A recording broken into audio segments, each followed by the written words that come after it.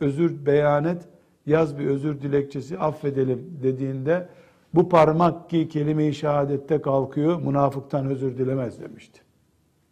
Münafıktan özür dileyecek yazıyı yazmaz bu parmak demişti.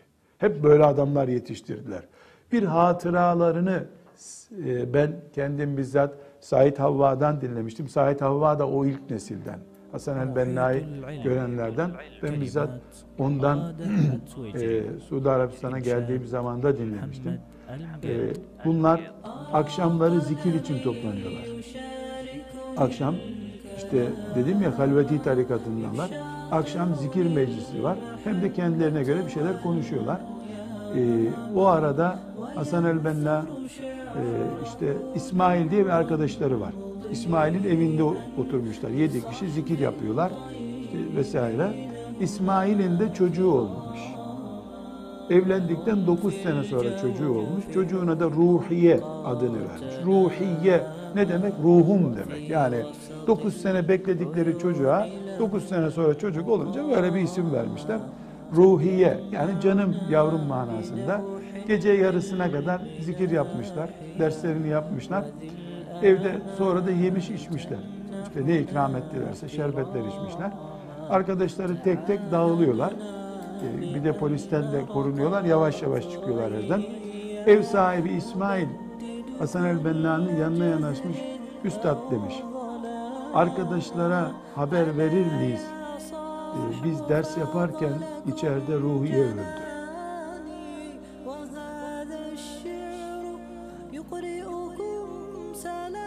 Arkadaşlara haber verelim de bizim cenazemize gelsinler yarın demiş. Hasan el-Benna bizzat ya sen ne yaptın demiş.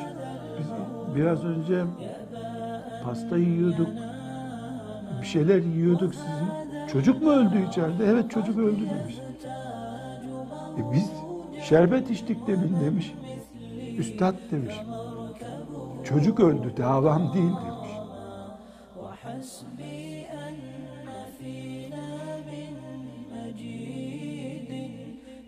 Herhalde 9 sene çocuğum olsun diye bekleyen bir baba çocuğunun ölümünün acısına dayanamayacak en zor babadır herhalde.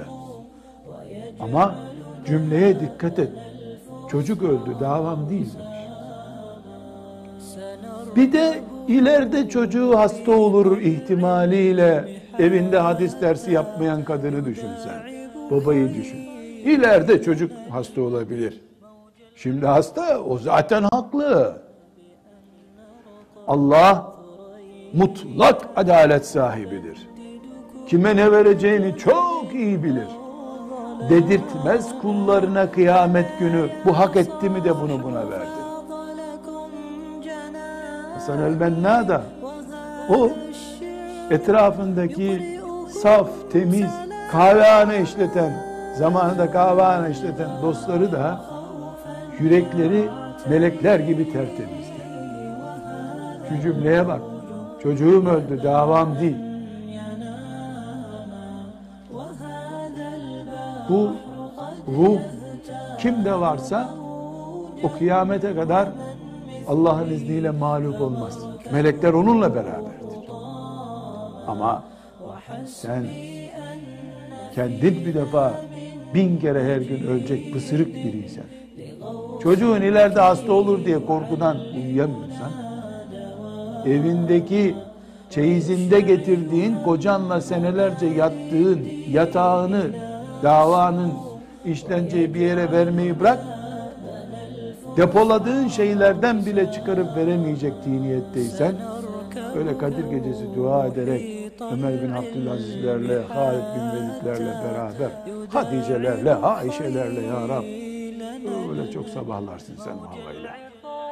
Hasan el-Benna ruh adamıdır. Zikir adamıdır. O ve arkadaşları çocuğum öldü, davam değil diyen adamlardırlar.